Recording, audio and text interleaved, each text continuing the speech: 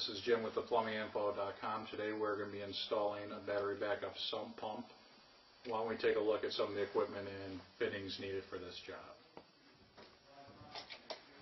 This is the equipment involved in installing a battery backup sump pump. Here we have the pump, the battery, the control units, the battery box.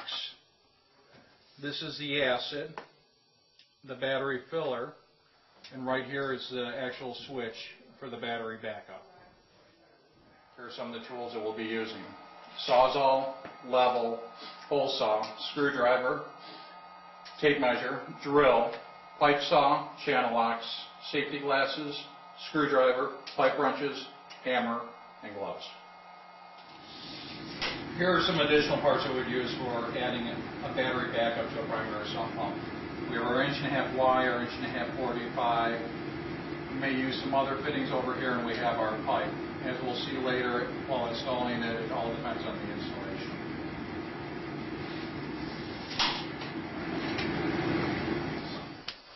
The first thing we're going to do, um, as with any other work on a sump pump, is we're going to unplug the sump pump.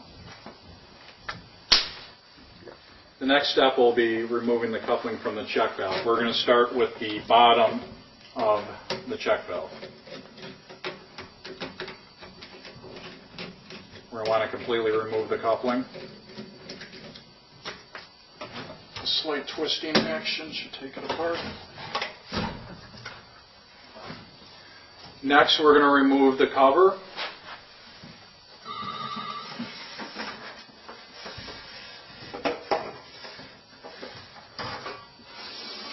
The cord out of the cover.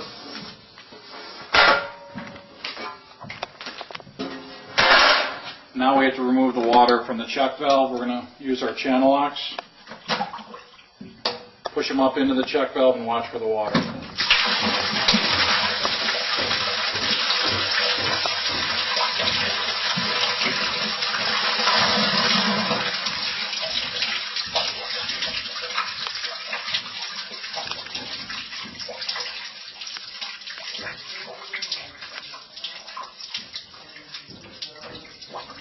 Next, we can completely remove the check valve now that we've let most of the water out.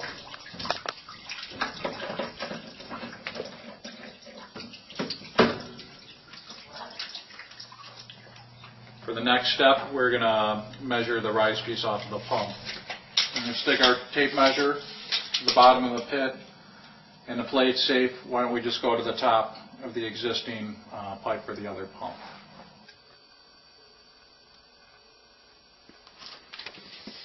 Now that we've taken that measurement, we're going to transfer it to this piece of pipe and cut it. Remember to put your safety glasses on.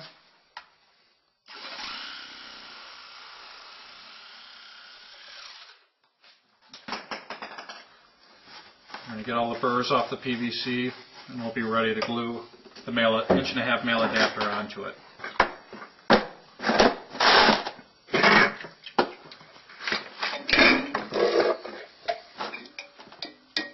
Remember to first use your primer. It may be clear or purple. Some cities or villages require that you use purple primer to show evidence that you use primer. Next we'll put the glue.